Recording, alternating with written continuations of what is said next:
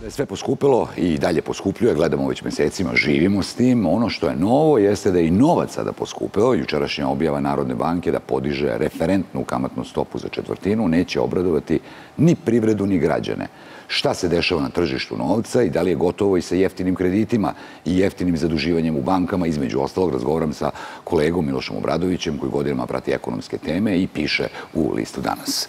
Do reče Miloše, hvala ti. Hvala ti što se ovdje. Ekonomisti čujem na, ovih dana kažu da je ova mera Narodne banke dobra, ali da je zakasnila, a bila je potrebna e, jer je inflatorni pritisak veliki. Šta to znači onako običnim rečima rečeno? Mi inflaciju vidimo, rastu cene, ali šta je ovo dobro? Šta se tu menja? A, pa uslovno je dobro. Znači, mm -hmm. dobro je zato što će poenta povećanja referentne kamatne stope je faktički smanjenje novca u opticaju. Što manje novca ima, ovaj, smanjuje se tražnja i onda se smanjuje pritisak na cene. Kao očigledno je da to je uslovno dobro zato što će zaustaviti, odnosno usporiti rast cena, ali poenta da mi imamo manje novca na raspolaganju, povećanje referentne kamatne stope će dovesti do povećanja kamatnih stopa na dinarske kredite. Većina dinarskih kredita se odobrava u formi Belibor, koja je kamatna stopa na dinare, plus neka marža banke. Automatski svi koji imaju dinarski kredit sa tim Beliborom uskoro bi mogli da očekuju nešto veće rate. One za sad neće biti mnogo veće jer su povećanje kamate, ove referentne kamate stope za pola procentnog poena. Došlo je do 2%, ali u budućnosti oči, možemo očekivati još povećanje kamatnih stopa, kamatne stope i Narodne banke i dalje praćenje ovaj, kamatnih stopa banaka i možemo očekivati prema poslednjim nekim informacijama ili naznakama iz Evropske centralne banke već od možda jula bi moglo početi da se Evropska centralna banka da povećava kamatnu stopu, što bi on imalo malo veći efekat i na nas, jer je većina naših kredita indeksirana u evrima, gde opet e, kamatna stopa se sastoji od e, Euribora, to je kamatna stopa na evre, plus marže banke. Znači, svaki put čim se poveća taj Euribor, koji je za sada još uvek negativan, da. određen broj godina je tako negativan što je presedan, čini mi se, ovaj, uh, ratić kredita mhm. rasti. Mm. To, je, to je, izvin, ja se izvinjam, da, to je posebno će biti važno zato što su stambeni krediti u, u velikoj većini uh, vezani za Euribor. Uh, S druge strane, keš krediti se uglavnom odobravaju u dinarima, te će oni više biti pogođeni, ali oni su opet kratkoročniji, a na njih je opet i viša kamatna stopa, tako da će svakako pogoditi prvo ove građane koji su zaduženi u dinarima, ali evo već do kraja godine ja mislim da bi i ovaj, dužnici stambenim kreditima mogli očekivati udarac. A koliko to zavisi ljudi koji imaju kredit, već sada imaju kredite, koliko zavisi njihov individualni ugovor, kakva kamatna stopa je u pitanju i da li ovo može da menja da nekome drastično poraste rata, nećemo porediti, nije za poređenje ono švajcarac kad je ne, ne, ne. ona velika kriza, ne. koliko se to može, ili to zavisi jednostavno od kretanja međunarodne to je, Euribora? To je, to je formalno, mislim, mislim da smo prošli taj period a, tih ugovaranja, da kažem možda i nelegalnih, ali sasvim sigurno nepoštenih uslova ovaj, ugovora o kreditima. Znači, imamo par tipova ugovora. Ili je taj Euribor plus marža banke, to je promenljiva kamatna stopa jer se menja Euribor pa se menja i kamatna stopa. Ili imamo ko je ugovorio fiksnu kamatu, o, mislim da je on dobro uradio, onda ovaj, on plaća fiksno bez obzira na kretanje Euribora, Belibora, bilo čega ali uh, tih kredita jako malo mogu reći, i oni u, startu imaju višu kamatnu stopu. Znači, kad dođete u banku i tražite stambeni kredit sa fiksnom kamatom, uh, prilika je da ćete dobiti uh, ponudu sa višom kamatnom stopom nego da ste uzeli promenljivu. Time se da, banka, da, da ljudi naravno... koji tek nameravaju sad, e, između ostalog, ti si del, delimično odgovorio, ali hajde konkretno da pojasnimo, makar i ponavljali. Ljudi koji tek nameravaju da kupe stana kredit, da li sada zbog rasta i predviđenog rasta ove referentne kamate stope mogu da očekuju da će taj kredit biti jednostavno sve skuplji? Da. Da, zato što e, stambeni krediti su tip 20-30 godina. Da. To su dugoročni krediti. Mi imamo 10 godina iza nas a, period a, rekordno jeft, ne, istorijski jeftinog novca. Znači imamo negativne kamatne stope u, u Evropi, imamo jako niske kamatne stope u Americi. To oni diktiraju, to su velike tržište koje diktiraju kretanje finansijskih financija u celom svetu. Dakle, iza sebe imamo taj, tu deceniju, da kažem, jeftinog novca koja meni se čini, a i koliko mogu da pročitam i čujem ekonomiste i domaće i inostane, misle da vreme jeftinog novca prolazi.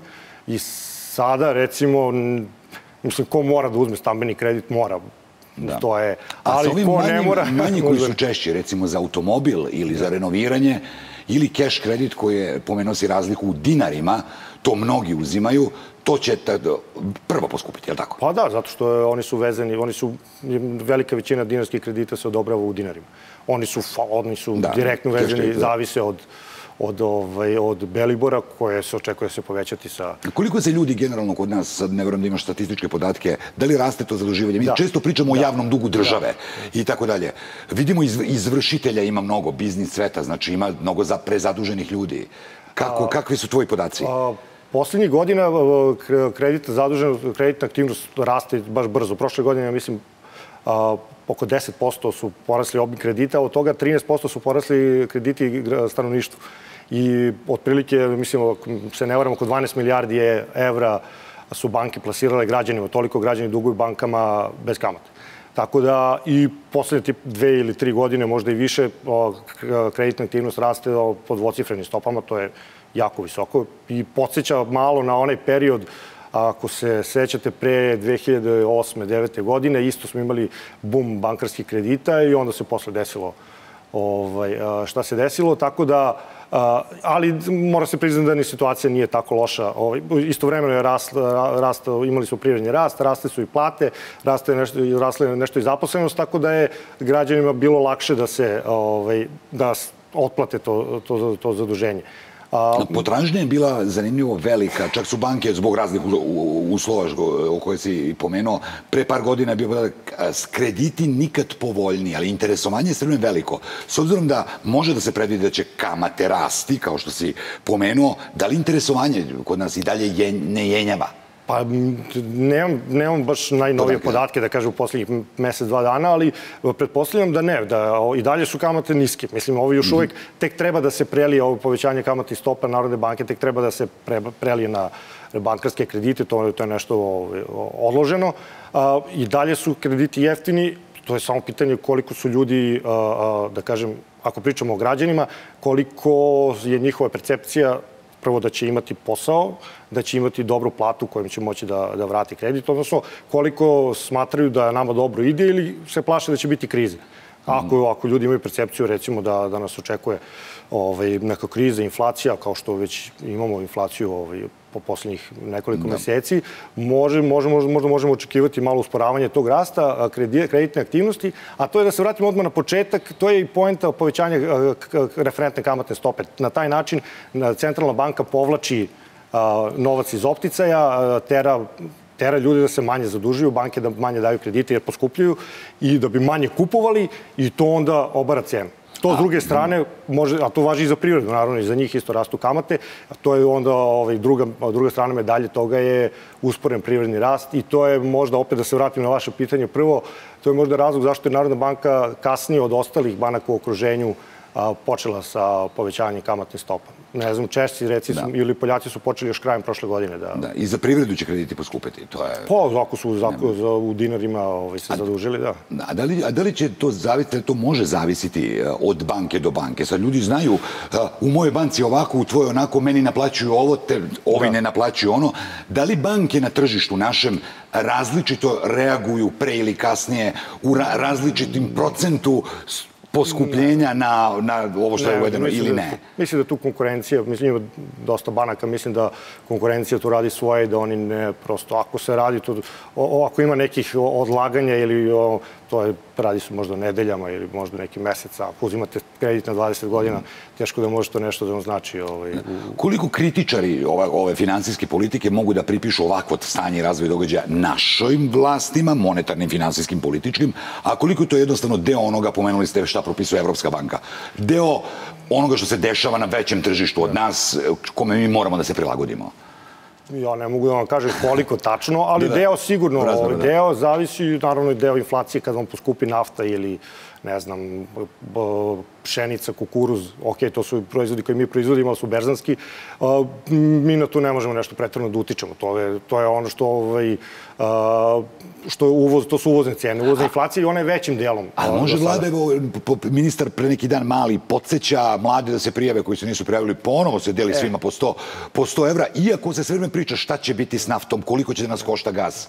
Tu dolazimo do drugog dela na koji, koji jeste posledica državne politike. Prethodne dve godine ovo, ovo, s ovim a, antikriznim paketima smo mi, država je dosta novca upumpala u privredu a, i u, u ekonomiju i, i, i građanima i taj novac se sasvim sigurno prelio na veću tražnju, odnosno na povećanje cena. To je u, kom, u kojoj meri ne znamo, ali o, deo je sigurno. Mi smo recimo do negde decembra bili među možda tri zemlje evropske sa najvišom inflacijom Ovaj, I onda smo onda je usporila, možda to ima veze sa početkom ovih mera Narodne banke sa povećanjem kamatnih stopa. Ali da, sasvim sigurno i te tri ili četiri zemlje koje su bile u vrhu, su baš zemlje u Evropi koje su bile naj, da kažem, najšire ruke prema svojim građanima i prirodi tokom korone, tokom prethodne dve godine. Da, i na kraju, uh, samo između ostalog, bivši guverner Šoškić kaže ova vlast da, da poslednjih deset godina je premalo učinila, nije ništa učinila da stimuliše upotrebu i upotrebu dinara i dinarskog plaćanja. Dalje, a opet s druge strane imamo situaciju gde neko kao vi ko prati dešavanja kaže pa oni koji su zaduženi u dinarima, oni će, oni će nagrabusiti najviše. I kako ljudi onda da koriste dinare? Ne, nis- nisam rekao da će najviše, ali njih će prvo pogoditi. Zato što oni Da. zavise od mera Centralne banke Srbije. Kada s- dođe na red mere Centralne banke, Evropske centralne banke, onda će to zakačiti i ove ovaj, a, koji su zaduženi u evrima.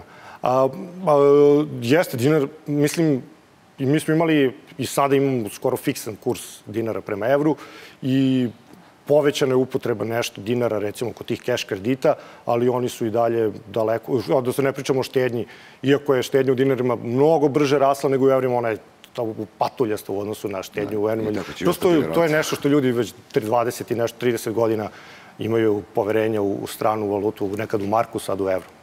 Hvala mnogo što ste bili u pregledu dana. Hvala vam. Bio ovo Miloš Obradović, ekonomski novinar.